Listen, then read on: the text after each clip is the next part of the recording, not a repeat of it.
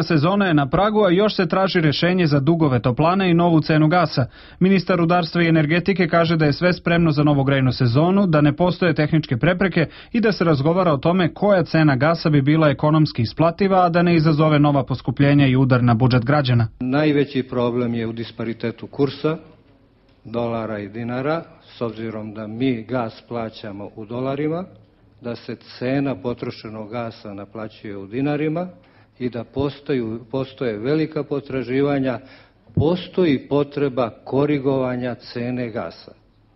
Oko tih mera i promene cene još uvek se razgovara i traži se logično, ekonomsko i socijalno odgovorno rešenje. Škundrić je rekao da se sa lokalnim zajednicama razgovara o problemima dugova i disparitetu između cene grejenja i cene energenata.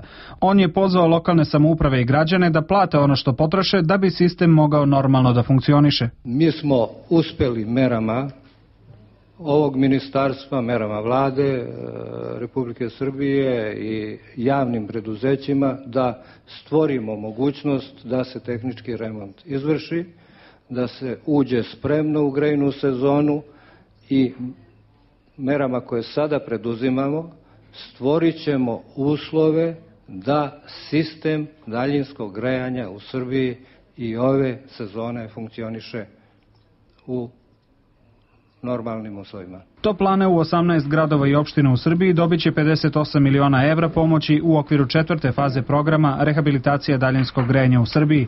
Memorandum o razumevanju između Srbije i Nemačke KFV banke potpisali su ministar Petar Škundrić, državni sekretar Ministarstva financija Slobodan Ilić i direktor kancelarije KFV banke u Beogradu Jirgen Velšov.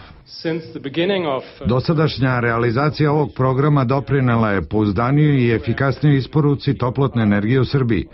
KFV planira da toplanama u Srbiji pomogne i u izradi novog tarifnog sistema koji će se zasnivati na potrošnji kao i u primjeni tehnologija kojima će se štedeti energija i štititi životna okolina.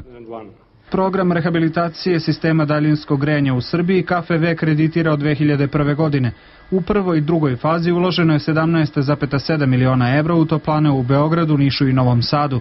U trećoj fazi pomoć je dobilo šest gradova i opštine i to kredit KFV-a od 20 miliona evra i 5,5 miliona evra subvencije od vlade Srbije.